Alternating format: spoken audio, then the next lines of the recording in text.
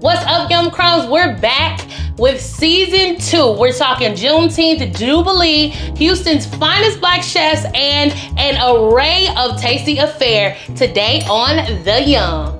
Thank you for letting me be in your kitchen today. Uh, actually, it's not your kitchen. It's We're at the Hotel even. King there. Oh, Hey, David. y'all. Oh, Hey. hey. How y'all doing? y'all need some wine? Yes, Uh, yes, of course. yes. Thank you. Of course. A, sh- a chef that comes and tops you off is always good in my book. Thank you, You know. chef. Uh, where I'm from, they call it a good host. So- Oh, there you go. It's the Lord's work. Yeah. Thank That's a- you. I mean, you Thank in you. here cooking. Cheers. to be in here pouring the wine. Correct. You're also going to be a part of the Juneteenth Jubilee Cookout, Yes. which we're excited for. So, how is this matchup? How did it come to be? Tell us what we got coming up and the people can look forward to. Well, you know, Chef Dawn and I have been very good friends and collaborated for a very long time in many different things in many different formats. Whether it's my venue, her venue, we've got to come together and show everyone that we can work together as a people to perpetuate what it is that we believe.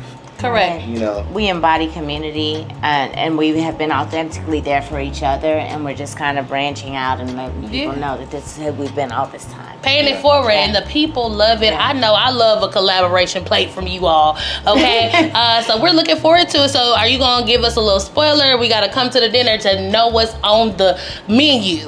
Well, yeah, you're gonna have to come, but just know there's gonna be fire. So, what we got cooking? So today I'm gonna make things that are near and dear to the to to the African American community here in the South, right? sure. We love pork belly. And so I have a smoked pork belly that has also been cured for a few days, uh, a summer black eyed peas salad. My take would be like the dressing that's gonna have a little bit of miso in it because you know I can't For sure. I cannot ignore the base of what it is that I learned, which is Asian cuisine. some great stuff on our plates, but we have to know what Juneteenth means to you as chefs because you feeding the people. What Juneteenth means is um, it's always been focused and centered on community. Correct. And I think that it's a time, it's not necessarily a celebratory uh, event, but it is acknowledgement of the fact that we need to work on, on, on our equity here in, in society. Like, Correct. you know, and so what, what better way to do that is to come together as a community. When I think about Juneteenth, like one of the things that comes to mind, I don't ever consider it a celebration, but mm-hmm. more of a recognition Yes. of what it is that's happened. Yes. And like, you know,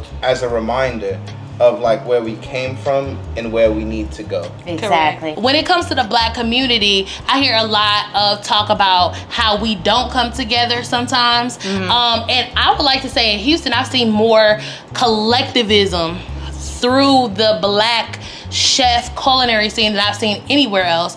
And so, how do you work together as two black chefs, especially in a high, uh, fine dining space?